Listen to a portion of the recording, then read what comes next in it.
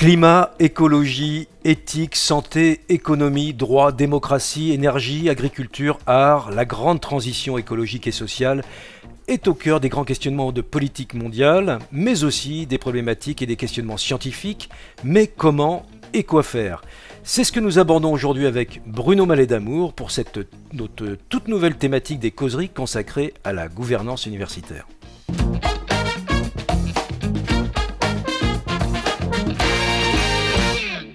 Nous sommes donc heureux de vous retrouver pour cette nouvelle collection, cette toute nouvelle collection consacrée à la gouvernance universitaire et nous l'inaugurons avec une thématique ô combien euh, préoccupante à la fois et en même temps, euh, eh euh, c'est un des grands questionnements d'aujourd'hui sur la question de la responsabilité sociale et environnementale des organisations d'une façon générale, du développement humain. Et nous recevons pour ce faire Bruno Mallet d'Amour. Bonjour Christophe, bonjour à toutes et à tous. Alors Bruno Mallet d'Amour, vous êtes maître de conférence à l'Université de La Réunion, vous êtes chercheur en physique de l'habitat, vous êtes rattaché au laboratoire de physique et d'ingénierie mathématique pour l'énergie et l'environnement, vous êtes chargé de mission Ecocampus dans l'équipe présidentielle pour l'Université de La Réunion et responsable du Master 2 Génie civil au département des sciences du bâtiment et de l'environnement. Tout à fait. Alors Bruno Mallet d'Amour, avant de, rentrer dans le, sujet qui va nous, interroger toute cette, euh, dans ces trois parties euh, consacrées euh, eh à l'Université de la Réunion et à son approche de cette question environnementale, la situation d'aujourd'hui au niveau mondial et contemporaine est marquée par des trajectoires des pays, des organisations, des économies insoutenables ou, ou du moins considérées comme insoutenables. Et donc la question vis-à-vis des générations présentes et des générations futures, c'est d'en assurer eh bien évidemment un développement qui soit plus soutenable, plus équitable. Euh, aujourd'hui, nous constatons effectivement l'impact du réchauffement climatique, la destruction du vivant, la pauvreté, les inégalités les conflits pour l'appropriation de ressources, les incertitudes sur le développement humain, et nous avons à réviser profondément nos manières de vivre, de produire et de consommer. Les chemins ne sont pas les mêmes en fonction de là où nous sommes, en fonction des économies développées, des pays, des zones. Tout le monde n'est pas impacté de la même façon. Et euh, un petit chiffre que j'aimerais citer avant de, vous interroger sur, ces questions. Un Français moyen, par exemple, aujourd'hui émet 12 tonnes de CO2 par an, alors que pour atteindre euh, la trajectoire mondiale sur la question du 2 degrés d'augmentation d'ici 2100, eh bien, il faudrait qu'il ne consomme que 2 tonnes euh, d'émissions T2 équivalentes. Alors voilà, tous ces sujets étant posés, euh, Bruno Mallet d'Amour, comment aborder cette question d'un point de vue global? Est-ce qu'on peut rentrer effectivement par une approche un peu globale, ce qui a mené probablement votre réflexion pour produire eh bien, euh, un programme et une action stratégique pour l'Université de La Réunion? Tout à fait, exactement. Alors, je fais partie des personnes qui pensent que les petites actions permettent d'avoir des impacts, on va dire, plus globaux donc on pourrait dire que les petites rivières forment les grands cours d'eau. C'est important que chacun puisse se saisir de façon individuelle euh, de son impact, bien évidemment, mais aussi de ce qu'il peut faire. Et surtout ne pas se décourager. C'est une, je pense, une très grande problématique que l'on a euh, durant ces, dernières années. C'est le développement des euh, climato-dépressifs. Que je peux comprendre, parce que c'est vrai qu'on a pas mal de, d'éminents scientifiques ou, euh, ou, de lanceurs d'alerte et qui euh, donnent des informations, des chiffres clés qui ont tendance quelque part à nous, nous faire un peu désespérer. Euh, notamment, pour ne pas le citer, Jean Covici qui souvent euh, donne des, chiffres un peu phares, un peu euh, provocateurs, mais je pense que sa, réelle volonté, c'est justement d'essayer de sensibiliser les gens.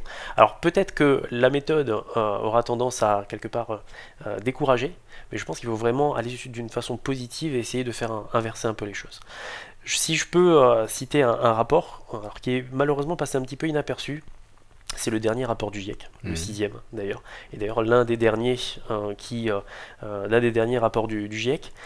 ce sixième rapport, c'est pas des connaissances nouvelles, il ne fait que synthétiser des milliers et des milliers d'études qui ont été menées sur justement le changement climatique avec tout type d'orientation.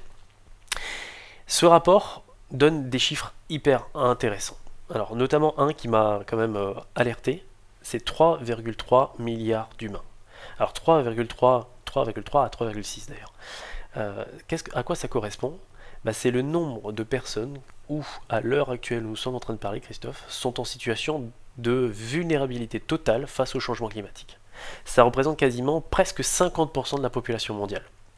Ça veut dire que le problème n'est plus un problème de nord-sud, on qu'on a tendance souvent à mettre cette, fameuse barrière, mm. mais c'est un problème global. C'était vraiment un problème global pour lequel il faut apporter des réponses locales et ça fait partie des, petites pierres que l'on essaie d'apporter à l'édifice en se saisissant de cette question-là et en développant notamment donc, le protecteur au sein de l'université. Alors merci euh, Bruno Mellet d'Amour. Alors la question du réchauffement climatique effectivement et donc de l'impact, on parle d'empreinte carbone aujourd'hui, euh, que ce soit pour les organisations ou pour les individus, pour les États.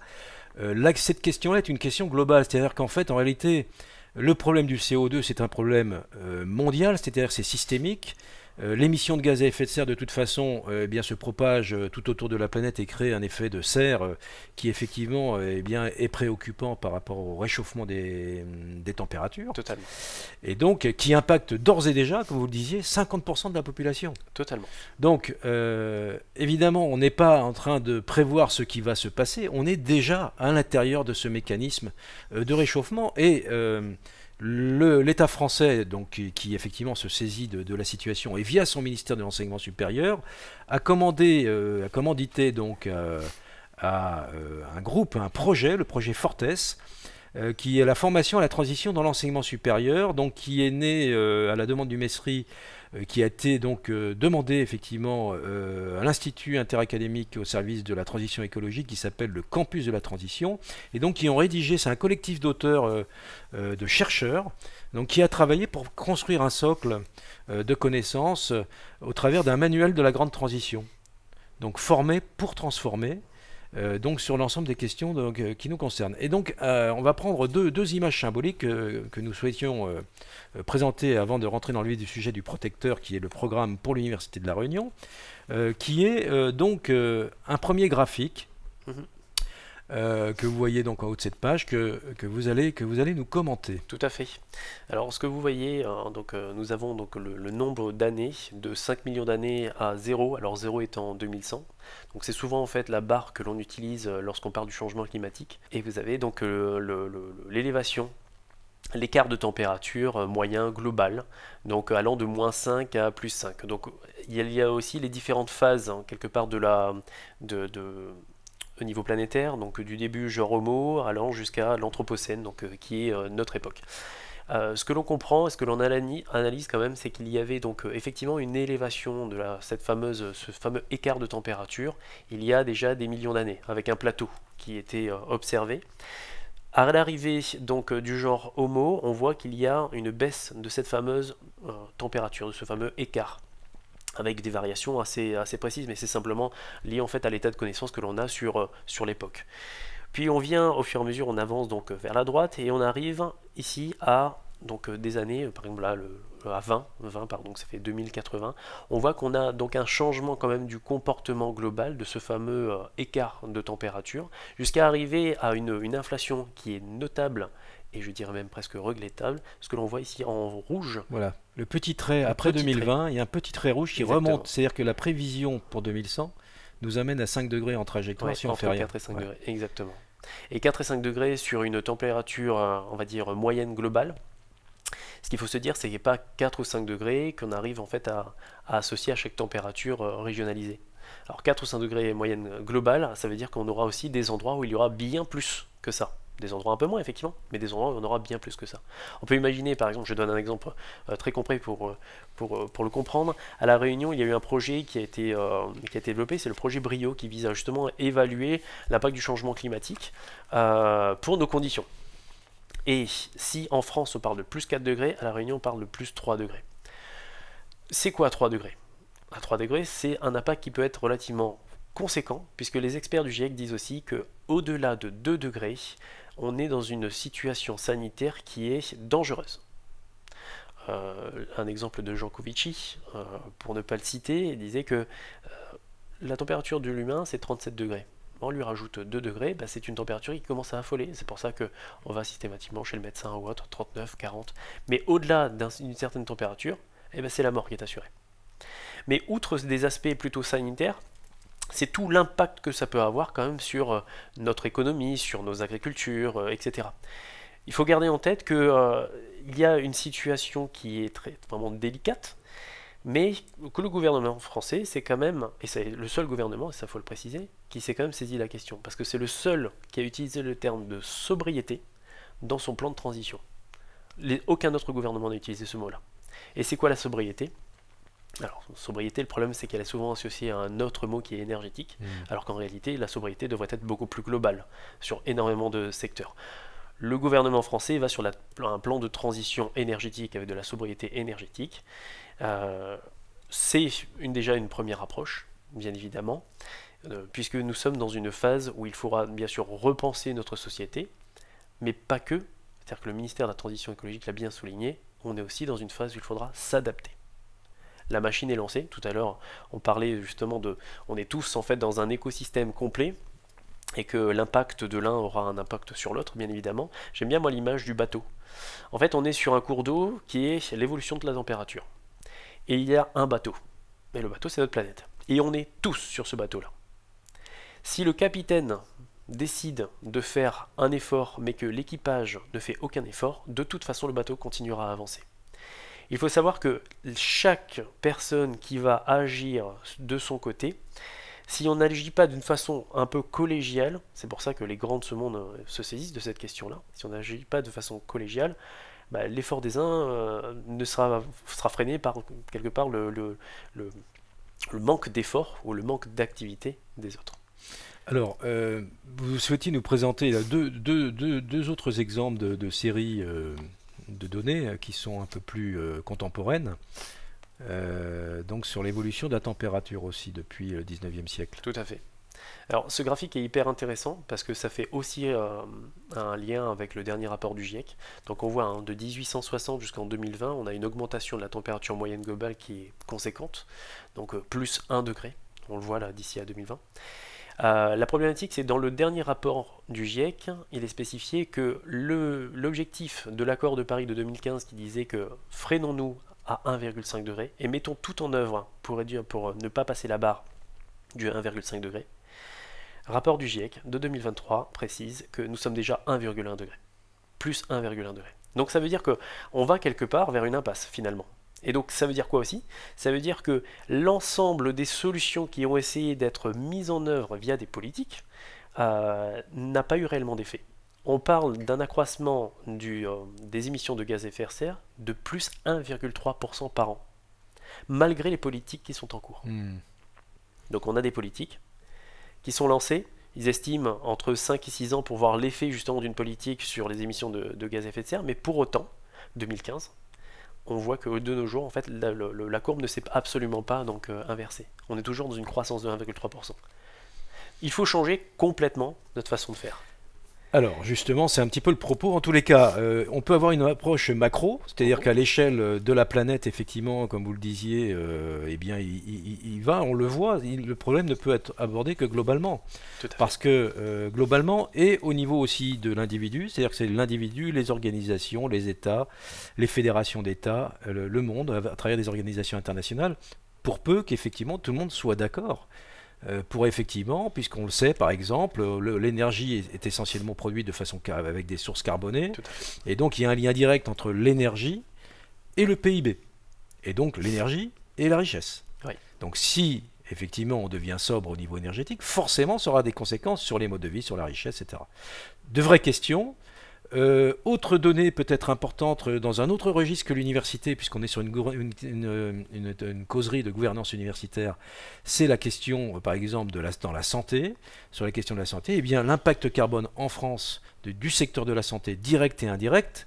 Indirect, ça veut dire les médicaments, tout ce qui est produit par les industries mhm. effectivement pharmaceutiques ou par les producteurs, les, constructeurs d'appareils destinés à la santé, ça représente 8% des émissions de gaz à effet de serre, de CO2, donc équivalent CO2 de euh, la France. Et donc pour tous les pays, euh, je pense qu'on retrouvera des, proportions qui seront équivalentes. La question pour l'université, et ça c'est une question qu'on amènera, qu'on sera amené à, évoquer, c'est quel est l'impact euh, effectivement carbone, l'empreinte carbone des universités françaises au niveau national, et qu'est-ce qui est mis en place pour pouvoir eh bien, remédier à cela au niveau des organisations universitaires. Et c'est ce que nous abordons maintenant, puisque vous êtes le chargé de mission Éco-Campus de l'Université de La Réunion, et vous avez imaginé un plan, une feuille de route absolument euh, innovante, très très euh, intéressante, que vous allez nous présenter. Nous, nous allons débattre euh, maintenant en déroulant donc la suite de cette causerie. Tout à fait. Alors peut-être on entame de, pour bien comprendre quel était l'objectif de pouvoir développer ce protecteur, c'est de peut-être de parler des chiffres aussi de l'Université de La Réunion. On est dans un contexte un petit peu particulier puisque nous sommes un territoire insulaire, donc naturellement nous avons un bilan carbone qui est différent de, des, universités de l'Hexagone. Là on le voit à l'écran, notre bilan de carbone de 2019, euh, c'est 6000 fois le tour de la Terre en avion. Alors c'est des chiffres qui sont vertigineux.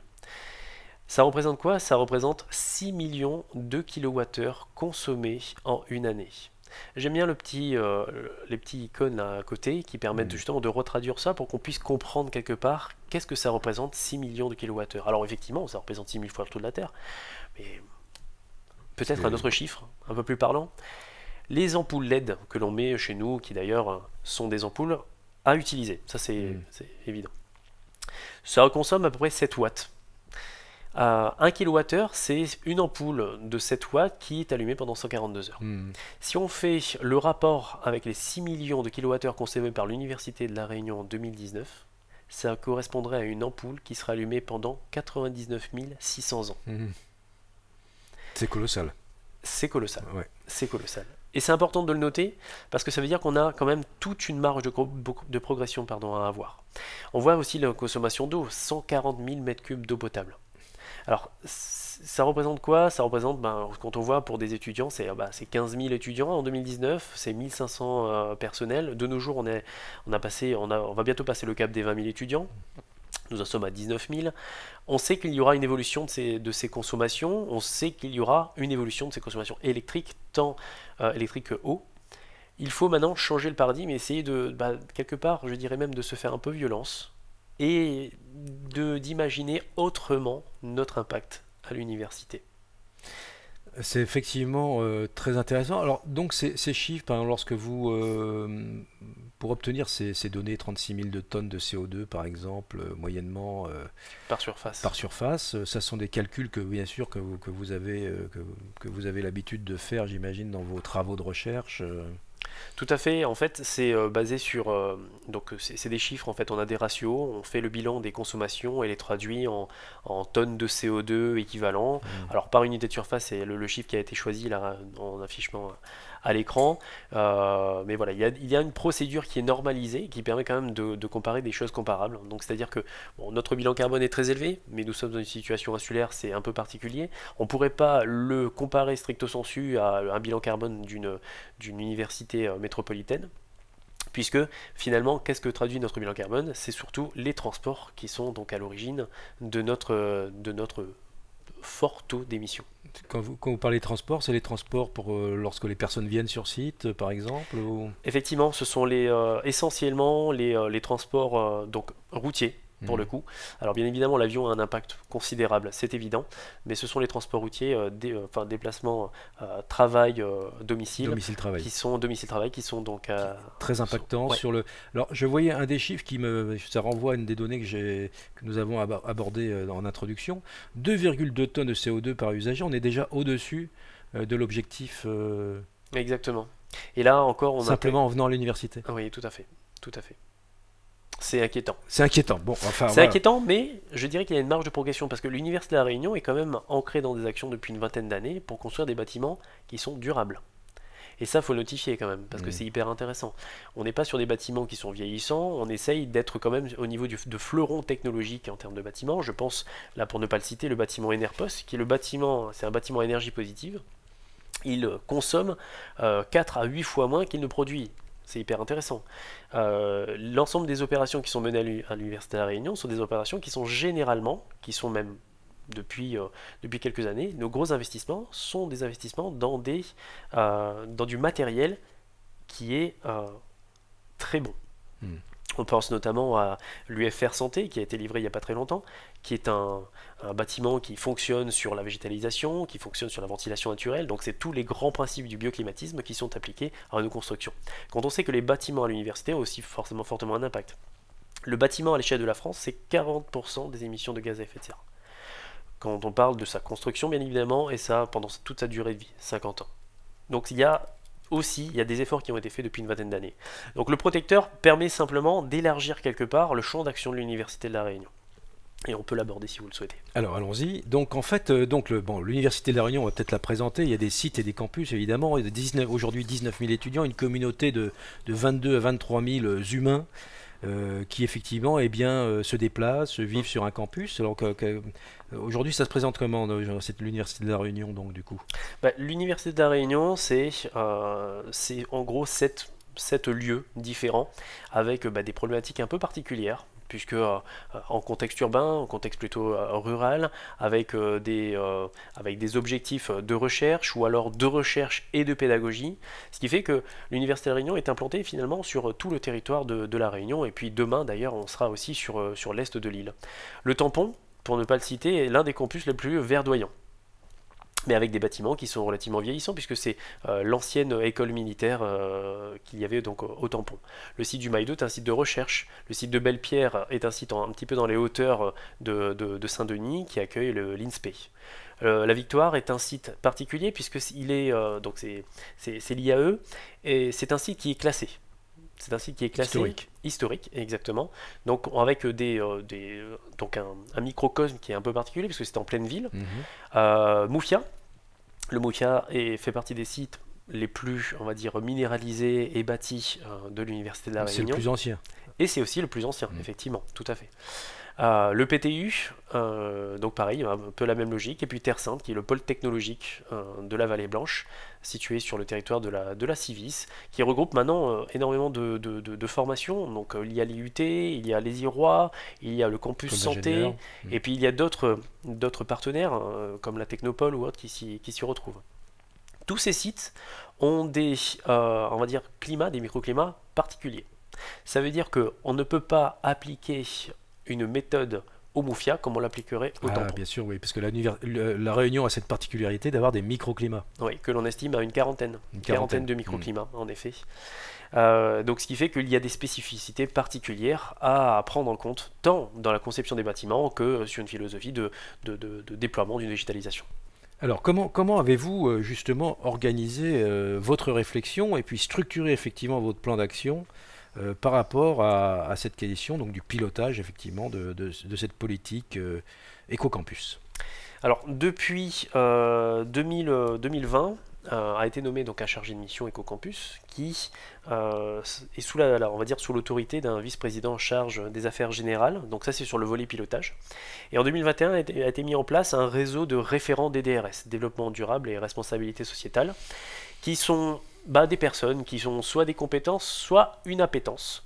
Euh, sur différentes thématiques que l'on voit donc à l'écran, passant de la végétalisation au transport, aller à la décarbonation, vie universitaire durable. Donc c'est un ensemble d'éléments et de réflexions qui sont à mener de façon synchrone, et ça c'est hyper important de, le souligner, à l'université pour changer quelque part. Tout ça se mène en parallèle en fait. Exactement. 14 référents qui mènent. Euh, Synchrone et décloisonné. En l'occurrence, euh, bah, par exemple sur les aspects de végétalisation, il y a une logique de travailler avec la partie gestion des déchets, puisqu'on produit du déchet vert qu'il va falloir donc euh, mmh. traiter et euh, valoriser. Mais on le verra dans une autre, dans une autre causerie.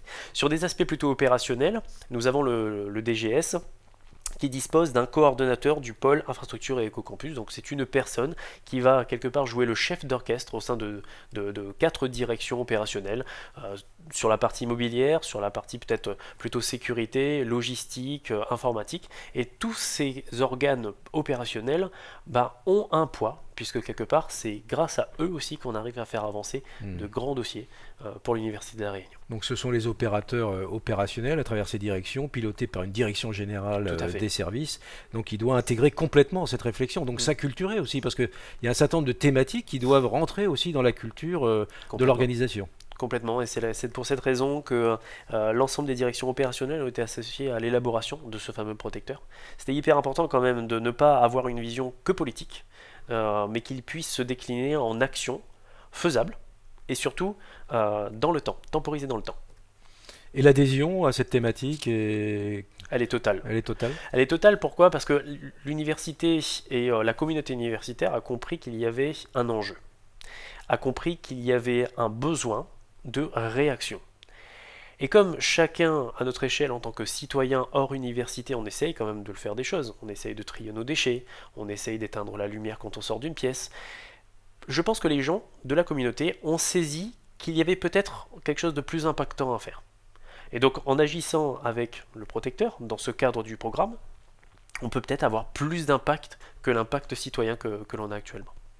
Très bien. Alors Bruno Mallet d'Amour, c'est vrai que le temps passe vite. Donc, le protecteur, donc c'est ce fameux programme Protect UR, donc l'université de la Réunion, euh, qui va donc euh, permettre de s'orienter vers une transition durable que l'on souhaite euh, réussir.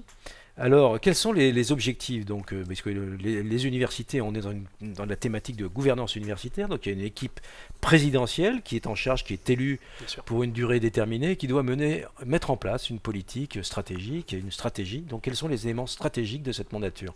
Alors, trois objectifs stratégiques développer des campus de référence en écologie tropicale, valorisant les savoir-faire universitaires, et ces derniers mots sont hyper importants puisque nous mmh. avons la connaissance à l'université pour essayer de trouver des solutions, créer des campus vivants pour et par les usagers, et enfin concevoir une stratégie immobilière responsable et durable, qui finalement est un des objectifs stratégiques qui est développé à l'Université de La Réunion depuis 20 ans, comme je le disais tout à l'heure. Donc 2020-2024, c'est 4 ans, c'est très court. C'est très très court, en effet. Euh, c'est très court, mais en même temps, le, protecteur a été conçu de façon à voir quand même beaucoup plus loin. En l'occurrence, trois dates sont retenues, 2023, 2024 et enfin 2030. Ça va permettre de donner une trajectoire. Et je pense qu'on a tous besoin d'une trajectoire pour essayer justement d'aller dans le bon sens. Alors justement, donc euh, bon, évidemment, ça nécessite euh, de s'engager. Hein. c'est là, ça suppose derrière bien sûr des moyens. Donc comment est-ce que vous avez, euh, comment vous allez pouvoir respecter ces engagements stratégiques? Alors le protecteur a été conçu avec huit engagements. Alors on a fait un brainstorming, on a essayé d'évaluer quand même les différents engagements que l'université pouvait prendre et surtout des engagements qui auraient un impact. Donc il y a eu 8 engagements stratégiques qui ont été déployés. Ils sont déclinés, déclinés en deux grandes parties. Il y a 6 engagements pour des campus plus durables. Donc j'appellerais ce sont des actions quelque part superficielles. Euh, tentons de verdir l'impact de l'Université de la Réunion. Et deux engagements de fond qui visent à travailler sur la pédagogie et la recherche. Donc ces huit engagements sont déclinés, sont déclinés donc dans le protecteur par le biais de leviers d'action et comme j'ai dit tout à l'heure, qui sont temporisés en 2023, 2024 et 2030. Mhm. C'est un programme donc qui est ambitieux, ça c'est évident, mais il est construit aussi en cohérence avec l'effort national, puisque le protecteur a été élaboré, alors il a été réfléchi depuis bien longtemps, mais il a été élaboré aussi par la demande du ministère de la Transition écologique mhm. et le ministère de l'Enseignement supérieur, qui ont demandé aux établissements un plan de sobriété. Comme on a souhaité aller plus loin, pour aller plus vite, eh ben on a élargi le spectre du plan de sobriété qui était énergétique à un programme de transition écologique et environnementale de l'Université de la Réunion. Ce programme a été validé par l'ensemble des instances de, l'université, euh, ce qui quand même permet aussi de comprendre l'adhésion de la communauté. Les gens savent qu'il faut agir, et ça s'est vu donc au niveau des instances. Ça, c'est formidable. Alors, c'est vrai que bon, les universités, en termes de gouvernance, bien évidemment, euh, euh, travaillent aussi euh, de façon conjointe avec le ministère. Il y a des contrats d'objectifs, maintenant des contrats d'objectifs et de moyens. Et ces grands objectifs écologiques aujourd'hui sont une priorité absolue, nationale, avec différents volets, bien évidemment. Alors, quels sont, comment est-ce qu'on peut, comment est-ce que, est -ce que vous pouvez présenter ces engagements? Euh, d'un point de vue de la responsabilité sociale et environnementale. Bien sûr. Donc parmi les, six engagements pour des campus plus durables, donc ça se décline en thématiques, mais l'université s'engage à mettre la transition environnementale au plus haut niveau de la gouvernance. Ça veut dire que peut-être que dans les prochaines mandatures, dans les prochaines réflexions, euh, le, sera par exemple la demande d'avoir un vice-président en charge de la transition écologique. C'est déjà fait d'ailleurs dans les universités de l'Hexagone. Mmh. Ça permet quoi? Ça permet d'avoir une légitimité aussi euh, en termes de représentation et en termes de levier d'action. produire abondamment et consommer frugalement. C'est ce qu'on appellera la sobriété énergétique et c'est ce qui était finalement demandé par les ministères. Créer des espaces végétalisés propices à la biodiversité et à l'efficacité des campus, trier pour offrir une seconde vie à nos déchets, proposer des solutions alternatives de déplacement au personnel et aux étudiants, verdir euh, donc euh, notre commande publique, hyper important. Et sur des aspects plutôt de fond, c'est former, sensibiliser, valoriser les co-engagements de la communauté et mettre la recherche universitaire au service des grands enjeux. On comprend bien que l'université essaye de faire en sorte d'avoir des campus qui soient respectueux pour pouvoir démontrer qu'il est possible de faire. Et enfin, on comprend bien aussi que l'université souhaite s'engager à remodeler sa pédagogie et mettre sa recherche donc au service alors, c'est vrai qu'on l'a vu, euh, innover, former, euh, donc ça c'est l'axe, on, on va, dire, sensibiliser. une communauté de 20 000, humains, 19 000 étudiants, qui demain seront des citoyens, et pour lesquels, effectivement, aujourd'hui, il va y avoir de, grands programmes de formation proposés euh, pour, pour, donner cette culture commune. Exactement. D'ailleurs, un des leviers d'action, c'est la création d'un passeport développement durable que l'on souhaite à tout prix mettre en place dans, les, euh, les mois qui arrivent. Ce passeport développement durable permettra justement de, euh, aux étudiants, qu'importe la discipline, justement de se saisir des grands enjeux et de savoir exactement bah, quel est mon impact, qu'est-ce que je peux faire et surtout de le comprendre. Un chiffre intéressant que j'ai lu il n'y a pas très très longtemps, c'est qu'il y a encore, il y a une enquête qui a été réalisée en 2019 euh, par le Forum économique mondial qui disait que un tiers des jeunes 18-25 ans ne savent pas exactement ce que c'est que le changement climatique et ce qui était possible de faire. Un tiers. Alors, donc vous avez les personnes qui, effectivement, les étudiants ou les jeunes qui sont pas au courant, pas sensibilisés. Or, effectivement, on en parle, on voit c'est présent sur les médias, etc. Mais c'est un sujet qui. La prise de conscience n'est pas forcément évidente parce que c'est tellement important, tellement immense que quelque part, euh, on a du mal à se situer dans, un, dans une problématique aussi large, en fait. Tout à fait. Alors, comment est-ce que, par contre, vous allez. Euh, on a aussi le, le versant euh, climato-sceptique. C'est-à-dire qu'aujourd'hui, on, sait que Bien évidemment, tout ça est documenté par la recherche de façon euh, très très très élargie, euh, mais on sait aussi qu'il y a euh, eh bien des gens aujourd'hui qui remettent en question cette approche des climato-sceptiques.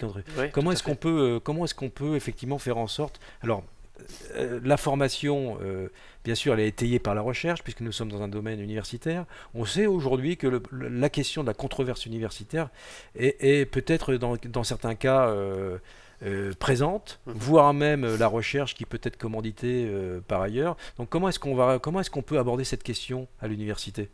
Alors je pense qu'on peut l'aborder de plusieurs manières, mais pour essayer de, on va dire, convaincre les climato-sceptiques ou les personnes qui pensent qu'il n'y a pas réellement de, de réelle transition nécessaire, c'est la communication.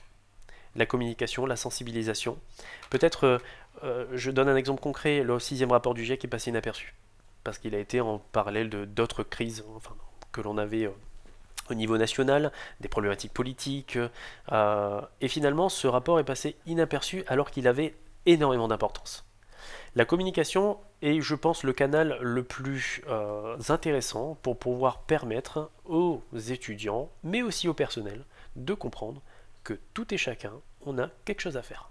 Et on a tous un rendez-vous à avoir c'est les rendez-vous donc de 2030 dans le cas du protecteur, mais c'est aussi un rendez-vous de 2030 dans le cas de l'élévation globale de la température mondiale.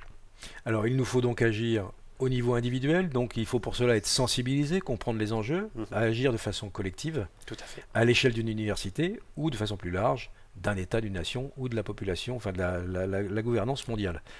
Voilà, donc en fait sur ce développement stratégique, ça sera, je pense, votre, euh, bon, votre dernier euh, diapo, mais euh, vous avez effectivement donné de façon graphique les éléments que vous avez cités précédemment. Donc moi je vous propose de nous donner rendez-vous, puisque là on a abordé, on a essayé de situer un peu la, problématique de façon un peu globale. Mhm.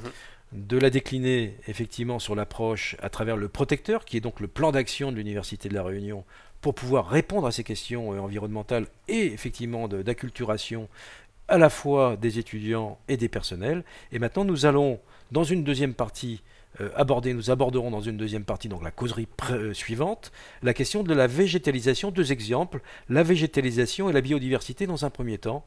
Et puis ensuite, nous aborderons la question des déchets. voilà, donc rendez-vous pour une prochaine causerie très prochainement. Avec grand plaisir. Merci à tous. Merci à tous.